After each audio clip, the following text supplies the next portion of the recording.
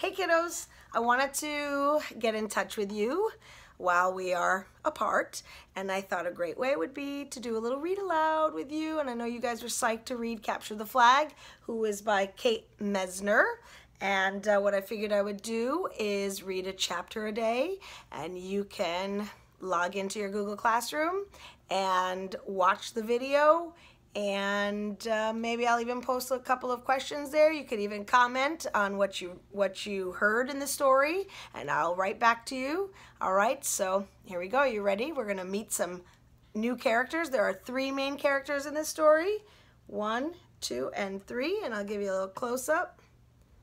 There's one of the kiddos. There's another, and the third one. Okay, so you can try to figure out who's who as I'm reading. All right, here we go. This is a good book. You're going to love it. Chapter 1 They never should have unlocked the door. They never should have let them in. The party had already gone late in a blur of red, white, and blue bunting, and orchestra music, and fancy gowns, and thin, crispy crackers with caviar. The tour wasn't on the schedule. But Irma Emma Jones, the director of the Smithsonian Museum of American History, made curator Jeff Brody unlock the chamber one last time. We have a dignitary who's requested a private viewing, she said.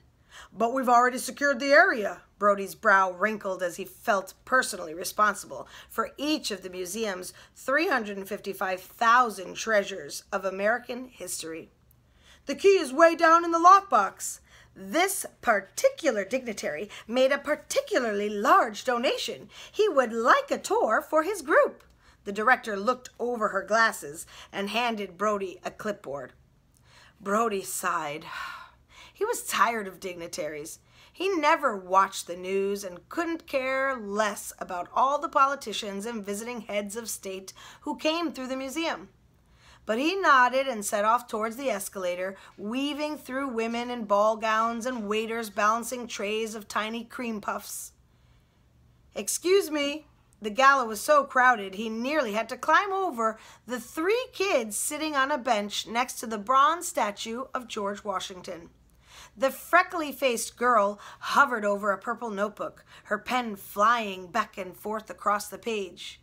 The skinny boy with the messy black hair held a thick paperback in his hands and nibbled on cookies from a napkin in his lap.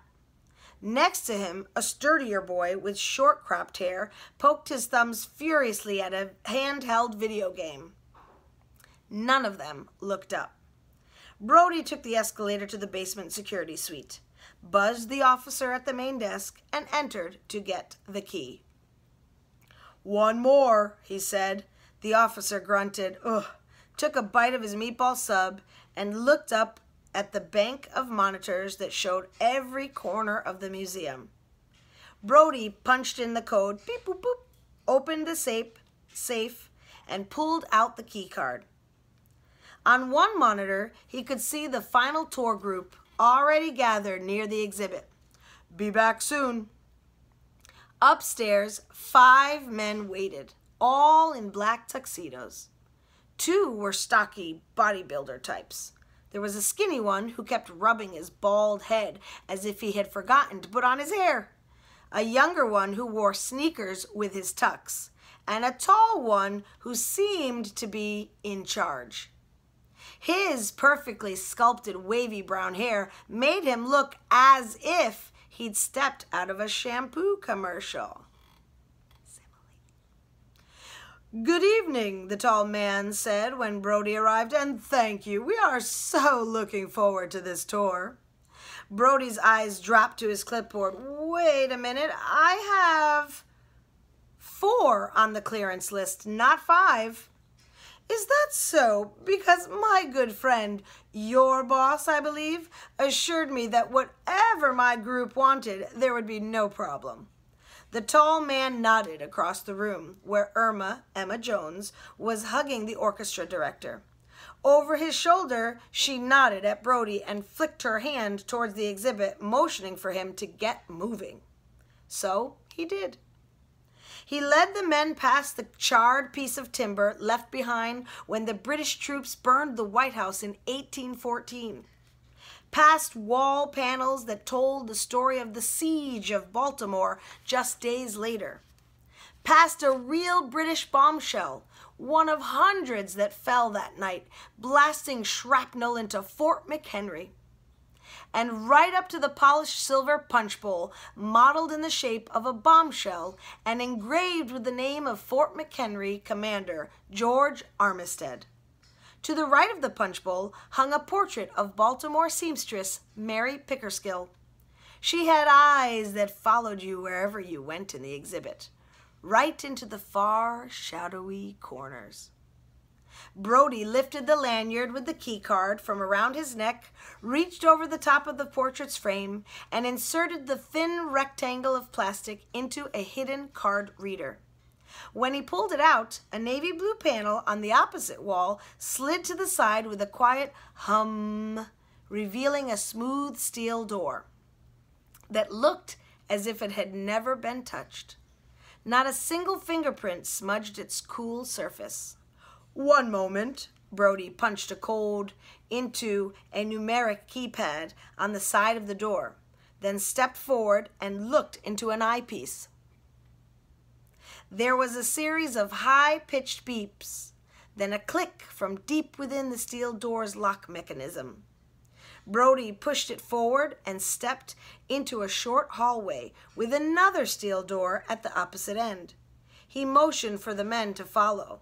That first door has to close. It thunked shut behind them, and immediately one of the bodybuilders began shifting back and forth on his shiny black shoes. Claustrophobic? Brody asked, smiling a little. If we were attempting to break into the chamber, both doors would remain sealed now. The double doors from a, form a man-trap. We'd be locked in this passageway until the police arrived. He paused, but of course, security is well aware of our tour. Brody punched in the code, stepped up to have his retina scanned again, and waited for the second door to open. In we go. He led the men into a cool, dark room. Your eyes will adjust in just a moment. The tall man stepped toward the table, his dress shoes clacking on the concrete floor. There she is, he whispered, and breathed in a long, deep breath as if he could still smell the smoke from the battle drifting through the stars and stripes.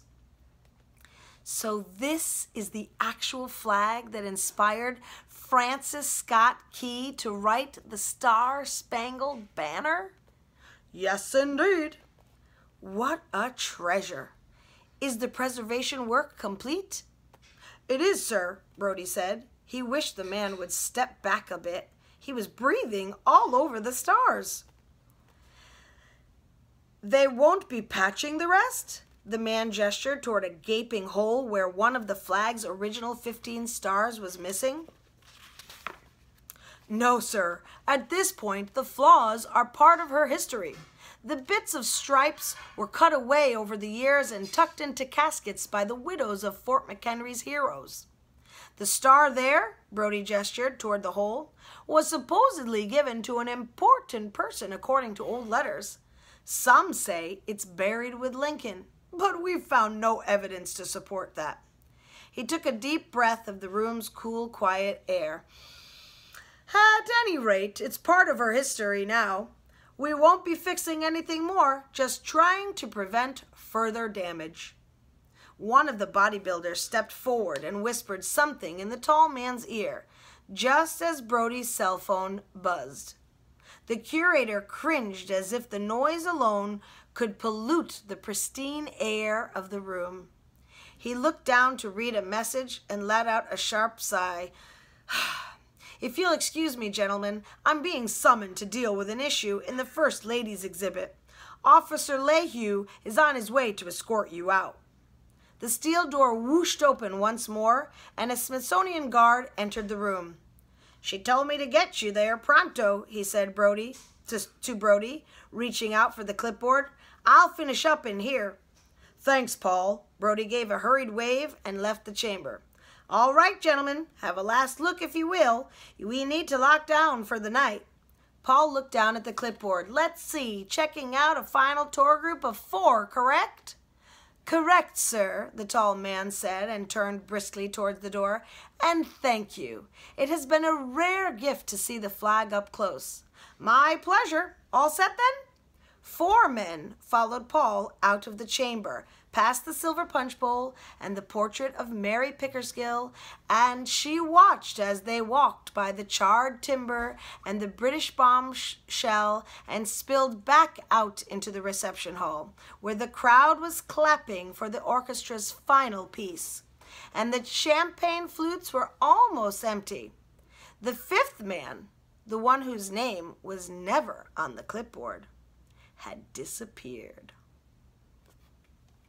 So there was a lot of historical content in there.